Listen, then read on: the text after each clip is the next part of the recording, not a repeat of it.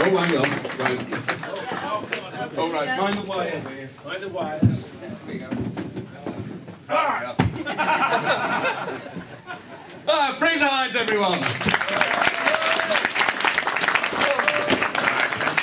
Right. I'm Sorry I'm late. Sorry I'm late, I've got a note.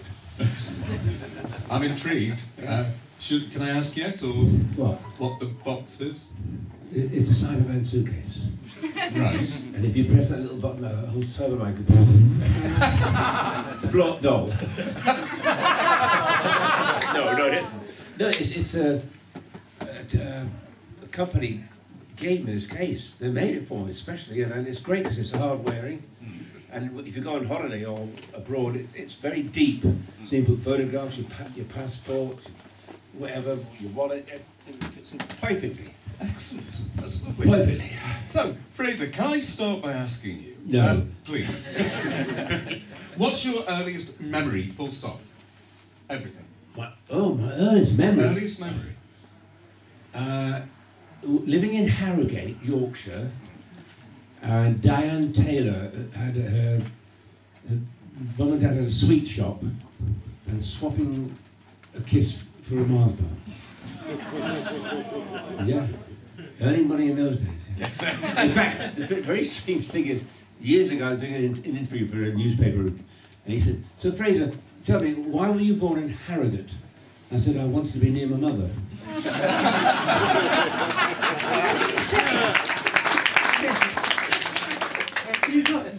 So, so how did acting become part of your life? Was it something that featured in your family? My mother was uh, in the amateur dramatics with my dad. We lived in Harrogate, Yorkshire, so every Saturday uh, I'd go to Marjorie Newbury's dance class. I would learn tap and ballet and all that sort of stuff. And then she did a, every year she did a, a show at the um, Winter Gardens in Harrogate. And we weren't very rich, so my I was doing an impression of Maurice Chevalier doing Louise. So my mother got this potato sacking, cut it up, made it into a suit, dyed it white, and I can't stand that scratchy stuff next to my skin. I'm really kind of itchy. So when I sang the song "Every Little Breeze Seems to Whisper Louise," and I had to do the dance stiff-legged, every little, because I didn't want them rubbing. And the newspaper went, seven-year-old, stop show. He even had the Maurice Chevalier stiff-legged walk. And somebody in Corona School, which is in London, saw it somehow and asked my mother, could I join Corona? And she said, no, he's too young, he's seven years old, wait till he's 10. And then 10 years old, I was still, didn't mind going to dancing classes. And, and so I went to Corona School. I it was, there was Dennis Waterman, Susan George, uh, Francesca Annis, you know, it was a nice class to be in. Yeah. Richard O'Sullivan. Yeah. Did that mean moving the whole family down there, presumably? No, my mum went with me. My dad stayed in Harrogate because he was a malting manager. And I don't know what he did. For, he took me to his work one day, went to this Oast house, sniffed some malt, put it back, and we went home. So that's my dad sniffed malt for a living, you know. Yeah. That's, yeah, that's what he did. So did you start working whilst you were still at the Corona? Oh, you're Corona School, you're allowed to work. Oh, yes, mm. you- you're allowed to act, sing. And my first film ever is on Talking Pictures TV now and again. It's called John and Julie. Mm. I mean, and I played the 438th citizen. In other words, you know, mm. you can't see me. Yeah. Uh, it, it was a, a crowd scene, and you start with a crowd scene, and then you then you do a two, two lines in a film, and then the director likes you, and he puts you, gives you a bigger part, and in the end you you go on. But I I, I owed my career really to Shaun Sutton, because he, he got me into he was producing directing the BBC Huntingtower Mm. by John Buchan, and I played Napoleon. And he liked what I did, and then kind of the year later, I did Jan in the Silver Sword, Mm. which kind of put a name to this little cherubic face. And then I was part of the, the Shaun Sutton sort of repertory company. And we did Sunday shows every Sunday, sort of. Well, Huntingtower is one I wanted to ask about because you must have been 12 or 13. Uh, yeah, about 12, yes, yeah. And it was six episodes. Presumably, it was was it live or? It was. It was live TV.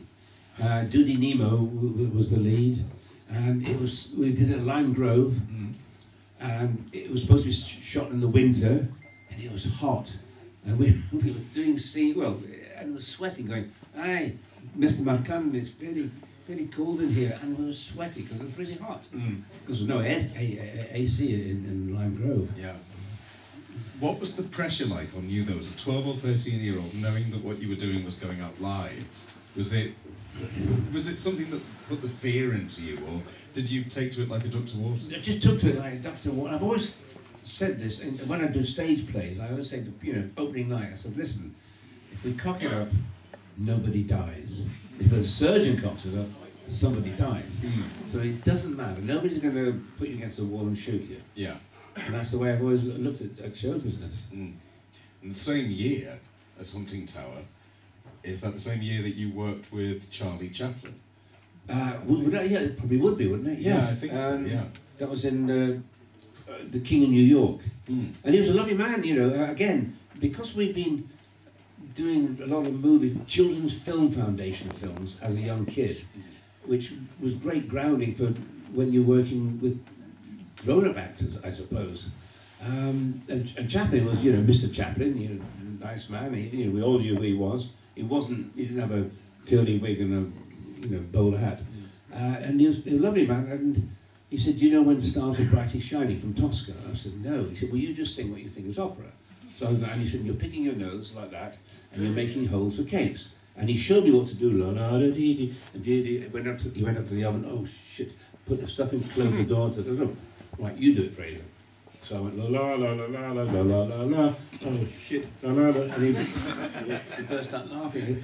I said, well, was, was that funny, Mr. Chaplin? He said, no, no, what it was, Fraser, when I was showing you what to do, an art light had been leaning against the handle of the oven, and it was hot. So that's when I touched it, it was, oh shit. I don't want you to do that.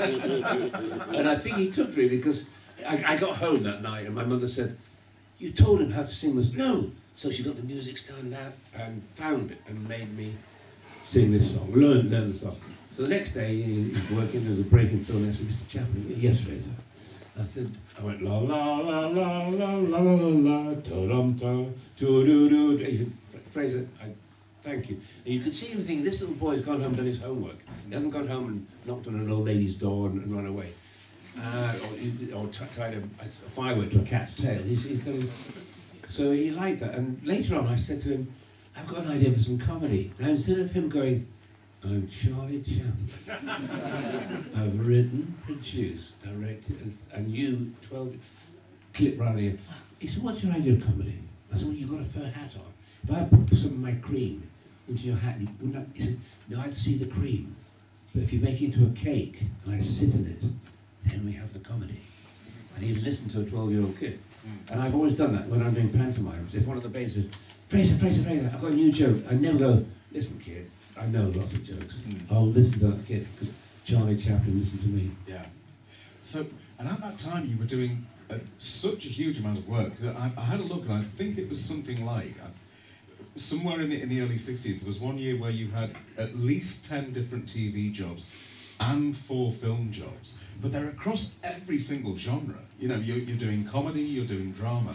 And w- what was it that made you able to avoid typecasting? Or was it just there was so much work? I'm sorry, that's all we've got time for now. uh, no, you learn that. That's what. You, that's the good thing about Corona School, where I, where I went. Monday, uh, all through the week, you got the three R's: reading, writing, arithmetic. In the afternoon, you might get tap Monday, ballet Tuesday, sword fighting Wednesday, Shakespeare Thursday. You had to learn everything. So I think that covered. You know, it was great grounding, and we were just we could do comedy, we could do drama, we, everything. Mm. It was it was Corona's Corona Academy. Yeah. Brilliant. And then we come to a program called Smuggler's Bay, and that's the first time you encounter, presumably, Mr. Patrick Troughton. That's right. It it was um, originally from the book Moonfleet. Mm. Uh, my famous author, I forgot his name. But the BBC at the time had Moon Strike on about the Lysander aircraft in World War II, Mm. and they didn't want two two moons, so to speak, so they called it Smuggler's Bay. Mm. And that's what I love with- Uh, I loved. I loved Suzanne Neve. Oh God, she was gorgeous. Uh, no, uh, Patrick Troughton, and, and I was the star, and he just had played old Ratsey. Uh-huh. a smuggler, and about two years later, he was the star, and I'm, I was coming in just for four episodes Mm. uh, of, of Doctor Who. Mm. And, and when you came in for those four episodes, um, when did you become aware that it was going to be substantially more than four episodes? Uh, well, it was we did we did all the pre-filming first. You do all that obviously. So if you come into the TARDIS and it's been raining on location, obviously when you do the studio, you're going to be wet. Um, so the first, I think the second episode had gone out, and Innes Lloyd, lovely Innes Lloyd, uh, old Navy man, came, put his arms around me. Ah, Fraser, how do you, how do you fancy joining the old TARDIS crew for a year? I said, I can't do that. He said, oh. Don't, don't you like the show? I said, oh, I love it. I said, but we filmed me, a Frensham Ponds, waving goodbye to the TARDIS and staying with Kirsty, um, Hannah Gordon, and Donald Blissett, and waving goodbye. I said, oh, hell with that. Um, we'll film it again. So he took me in this little VW um, Beetle. About two days later, we went to Frensham Ponds, and this time I got into the TARDIS and waved goodbye to my lad and, and Kirsty. And that started three of the happiest years of my life in show business. Working with Patrick and, and Debbie, of course, and, and Padders, you never ever felt driving to work, and I know some companions later on have thought, oh, I hope so-and-so's in a good mood today. I hope she hasn't, I hope he hasn't fallen, I hope he hasn't been only... We never ever felt, it was a joy to go to work. And if I hadn't spent the money, I'd give it back to the BBC. No. So, who was Patrick Troughton to you? He was a best mate. He was a really, a, a, a, he was idiosyncratic. I mean, those hush puppies he wore were his. He wore them in rehearsals and he wore them as the doctor. And he, had, he used to have a little knitted, a knitted bag with him. And I said, well, I'll get you a nice briefcase. No, no, no, no. And he loved his little knitted bag. But a, a little uh, story I was telling you earlier today. He had a lovely Rover 2000, a lovely, lovely car. And I saw Motorsport magazine, and there's um, in Brussels there's a, a statue called the Manneken Pis, which is a little boy, and he's peeing, and obviously, and that's the, that's the, the fountain. And I saw this magazine you could get screen washers for your car, where you put them on the bonnet and you press. So I said, Patrick, oh, you could get these screen washers. You've got to get them. Oh, don't be silly. No, of course there is. I said, there is. I'll bring the magazine in. So next day I brought the magazine in. Uh, I, I, I went home to get the magazine and my mum threw it away. So the next day I went and Pat, he said, oh, don't tell me about that bloody thing again. I said, honestly, you can find them. He said, no, no. He said, but, uh, I'll bet you 10 quid. Oh, I said, I'll bet you 10 quid then. I'll bet you 10 quid. I'll come up with it. And on the way home, I saw this car showroom, and in it was a second-hand Rover 2000, a white one, and on the bonnet, two little silver boys. So I went in and said, how much is my car? Right, I wrote a check out. In those days, you could just, none of these HPIs and stuff. So the next day I went to rehearsal and said, Patrick, he said, oh, you're not going to talk about that bloody thing. I said, I'll bet you 10 quid. I can prove it. He said, oh, all right, prove it. So I took him out into the car park. and he went, oh, gosh, you're right. I said, what's this? Went, How did you own the... Wait a minute, is that your car? I said, yes. You bought a car? I said, yes, just to get 10 quid off you, you type.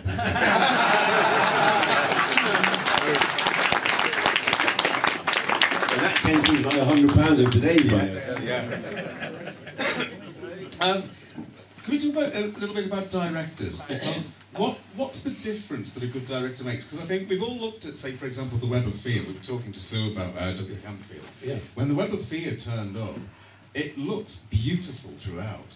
And then if we compare it maybe with um, The Dominators, for example, Yeah. which doesn't look quite as beautiful, even though it has uh, Ronald Allen in, and I quite agree with the previous panel about Ronald Allen.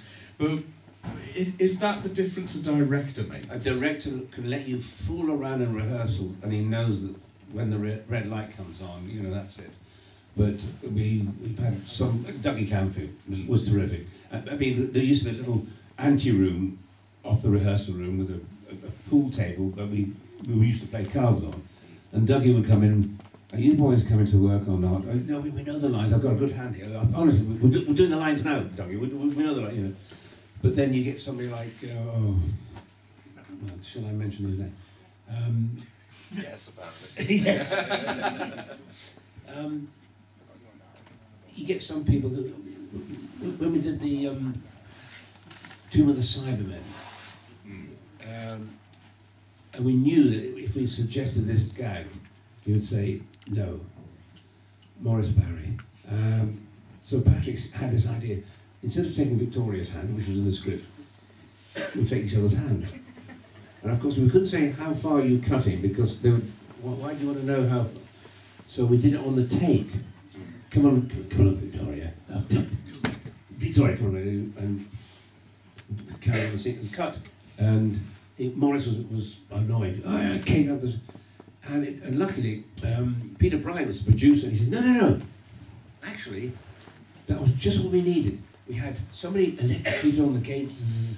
Toberman comes up and he goes zzz, and he opens the gates and you come in and it's all tense, tense, tense. And you guys just went, oh, a little bit of humour. He said, that's just what he needed. So that's what you know, Peter Bryant let, let, let us keep it in. But Morris was, oh, he'd, he'd get to the studio and go, uh, the sets are on, my, TV, my cameras are there.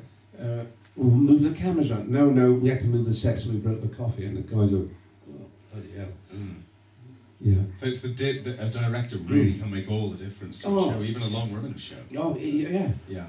But I say, uh, Dougie was one of our favourites. We would suggest something, and he'd go, "All right, boys, you can keep that joke in." but, he but he had a sense of humour. In the invasion, uh, there's a scene where we, we get into the Rolls Royce of, of um, Tobias Vaughan, and he said, "Fred, you get in the back seat and come out the back seat and then jump in the shotgun." So when Packer comes, you're going, "Hello," and that was Dougie's idea. It wasn't in the script. Yeah. So he was a very creative man as Yes, well. oh, yeah. So, yeah. And in, in the beginning of the invasion, uh, we're supposed to be walking down the street and then they're following us. I said, Dougie, can we do a, like a cartoon thing? Uh, what do you mean cartoon? I said, well, we started walking, we realised we've been followed, we sort of walk a bit quicker. And in the end, we yes, like it, like it. Mm. One of, the, one of the things, I suppose, though, that's quite sad about the era is there is an awful lot still missing. Have you got any memories of any, just like little moments that it would be brilliant for us to be able to see? Oh. I'd love them to find the Highlanders, I really would. Uh, um, it was a lovely story. Um, some lovely actors in it, obviously.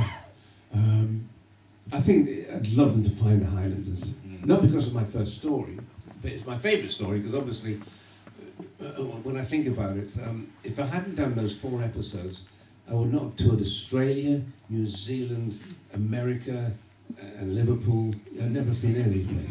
Yeah. so, I mean, you were on the show um, for, for three years. Yeah. Because it was 40 weeks a year.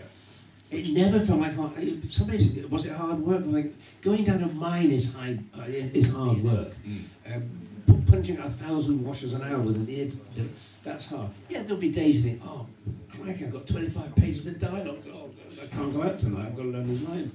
There- Of course, there's days like that, but uh, most days it was just. It was fun. But I can remember. I seem to remember we do a few episodes summer holiday, a few episodes Christmas holiday, a few episodes summer holiday. It never felt like 40 weeks a year. Mm. I mean, but you think you see 40 weeks a year, there's still 12 weeks left. So, Mm, yeah. so, so plenty of time to, to enjoy yourself. Yeah, no, that's true. Mm. So, ultimately, what was it that made you decide that's that's enough? My agent, my agent, Hazel Malone said, darling, you've done three years now and you must go back to films. Because my early career, as you pointed out earlier, i- television was in its infancy. So my early career was doing movies. And she said, "Do you must do more films." And I said, "I'm enjoying myself." No, no, no, you must do more films. Uh, and then I was going to leave, and it was all in the papers. Patrick, um, Doctor Lucy, Jamie, and Patrick, uh, you're, you're not leaving us. Yeah. No, no, no. He said, my, my contract finishes in six months' time. Wait, and we'll all leave together. So my agent rang BBC and they said, oh, yeah, yeah, fine, we'll live together. But I still say, if it hadn't been for, because his wife was nagging him, oh, come on, you, you're doing children's television, you're a man of your own children's television. And my agent, yeah, yeah. if we hadn't had those two people nagging us, we'd still be there. You would never have heard of David Tennant. You'd have to shoot us to get us out the time. So, then you went back, of course. Oh, that's great fun. Well, I was supposed to go back for the whole of the Five Doctors, Mm. uh, but York's TV wouldn't release me from Emmerdale. I said, well, look, can I just have an extra week on my summer holiday? No, no, no. So I rang JNT, and he said, well, I want you in it. I want you in it. If you get two days off, let me know. And I got some. I said, oh, I've got. schedule. I've got next Wednesday, Thursday off. He said, right, you're in. And that night there was a fact, uh, fact, that's how long ago it came, and nails my lines. Aye, no, the dogs are right, the big is right. Ah!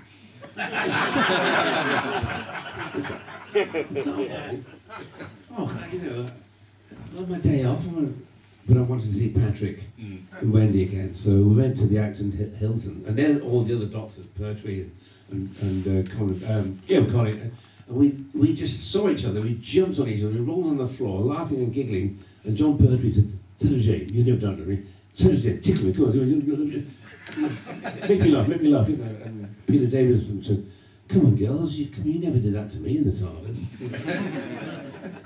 so, it was great. And then when I was getting de-rigged to go back to Yorkshire, JNT said, Fraser, it was like you and Patrick have been in a prop cupboard for 16 years and we just doesn't. Would you do more? So yes, please. And that's why we did the two doctors. So if I had said, can't be asked to do the five doctors, I would have never done the two doctors. Yeah.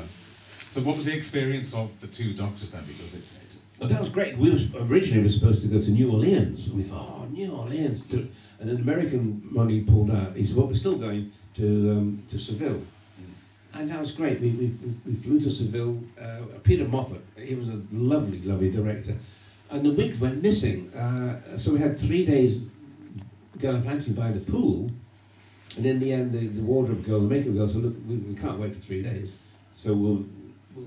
And do your hair, Dastari's hair like this, and Cassini's hair like that. And we filmed, filmed, filmed. It was such a happy shoot. But we filmed, finished one night, and Peter Moffatt came to the bar, because we were all in the bar. You know, he said, well, um, are we finished? I've shot everything. Really? Yeah, I've, I've, I've shot everything. I, but we can't go back because the, the hired jet, put me the passenger jet, is not due for two days.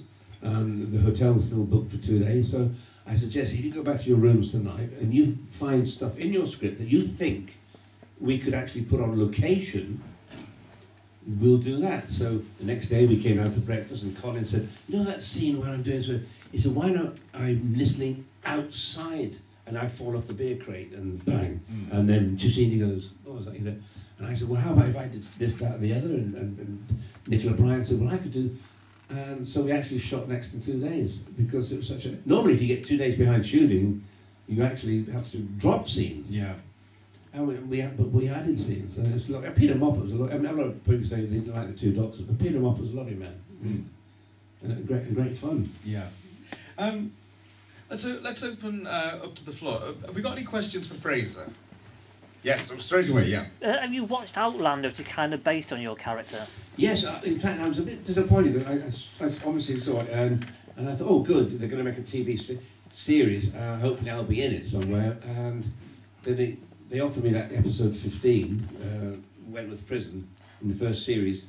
And of course, uh, with social media, that was the most watched episode of the first series because I think I put a million Doctor Who fans watching it to see what Frey's going to be up to. But I met Diana Gabaldon, you know, I met her uh, in Edinburgh doing a book signing. She was doing a book signing. And she said, Yes, Fraser, I, I watched you, I think it must have been the War Games. I, I, she said, I went to church the next day and all I could think of was your kilt and your legs. So I came back. said, I had to write this thing. She said, Obviously, I can't wear a ta- uh, write a TARDIS. So she did this time travel thing. But, uh, you know, I'd like to have been in a, few more episodes, Yeah. to be honest. Yeah. Because you inspired it at the end of the day. Yes, it was. She, she actually called the character Jamie Fraser. Mm. And I said, well, Jamie, obviously, from, yeah, and Fraser for me. She said, well, actually, no, it, it's how strange because uh, uh, with PBS, American, the minute the show's over, the, the, the, the captions are like that. And she said, I never saw your, your real name. Oh. But how could we, she could have called him Jamie McDonald, Jamie whatever, she Jamie Fraser. Which, Wow. you know, Yeah. That's any more questions? Because well, what people are thinking, uh, she sent me her the first book, Cross Stitch, Hmm. to, to Yorkshire TV, and and I read it, and I took it to um, our head of drama. I said, and I, this I'm going back 40 years now. Right. I said we should make this in my summer break, and I'll play, you know, Jamie. Yeah. Um, we don't have to shoot it in Scotland. We can shoot it in Yorkshire. I mean, it's still Heather and. And they said, "Oh no, it'd be too expensive to make." I said, "Yeah, but it's great. See, it. look, read the book." And they said, no, we, we can't, you know, we, we're not going to do it. Yorkshire Television could have made Outlander. Yeah. What happened in television then? Because it seems like you were working in this real golden age of television, Mm. but then it changed, didn't it? Something changed in television. Love And it's a- Island. Uh, yeah.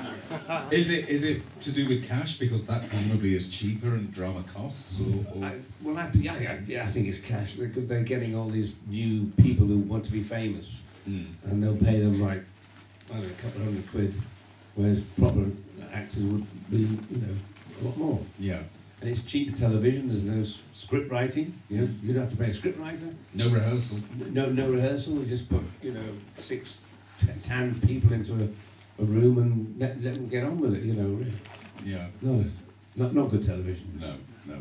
And next, in fact, I actually foresaw Gogglebox about eight or nine years ago. I, I said, TV is getting so bad that we're going to start watching people watching TV, mm. and people laughed at me. Yes. And that's that's Gogglebox. We're watching people watching TV and hearing what their thoughts are. Tell them your own thoughts. You, really? Mm. I, I'm- I've, I've written a show called Celebrity Paint Dry. we paint a wall, and we guess whose wall will dry quicker. Well, I think I can speak for anyone but everyone here when I say that we're very glad that you've worked in that wonderful golden era of television. Oh. I think we should uh, probably wrap it up, Erica, about now, should we? One more question. Oh, we do yeah, have oh, one yeah. more question. All right. Okay. Fraser, Yeah. talk to us about Sundown, where that beautiful film that Ryan Hendrick and you made in Scotland. Oh, so- Sundown, yes. There's, it was, The, I don't know how many people have seen it. It's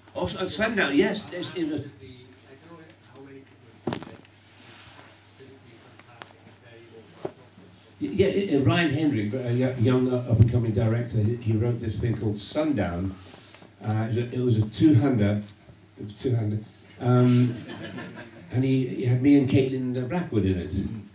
And it, it's about a guy meeting a, a girl on this lovely island. You can get it actually if you look on YouTube. I think if you type in Sundown, you get it, and it's a very, very moving. So I don't want to give any spoilers, but it took us three days to get to Iona, and it rained the whole time. Oh, but the minute we got to Iona, the sun came out, ding, and it was wonderful. And those four days, because it's a lot of, all on location, and we're walking across the island. Or if it'd been raining, you'd have lost. Well, you, you lose it. Uh, and then Ryan and I got on really well together. So he said, "I'm doing this um, film called Lost at Christmas." and uh, and I want to get you to um, another Doctor Who actor. I said, well, Sylvester uh, would be great. He played Highlanders, all right. So we shot that on location. Again, it, it's on. I think it's streaming or whatever you call it. It's called uh, Lost at Christmas. The two leads are fantastic. It's about two people that meet. But um, Pat, uh, Patrick, oh bless him. He uh, Sylvester and I we met in the bar, the bar before, and he said. Um, Fraser, you know, we're Highland. Well, let's let's do it with a Highland accent. I said, why? He said, well, if it's just a Scottish accent, you say to me, fancy a drink. But if you're a Highlander, you'll be, would you be after having a wee dram of whiskey? he said, we're on TV more, we're on screen longer. So we did this first scene, and Ryan said, cut. I know what you two buggers are.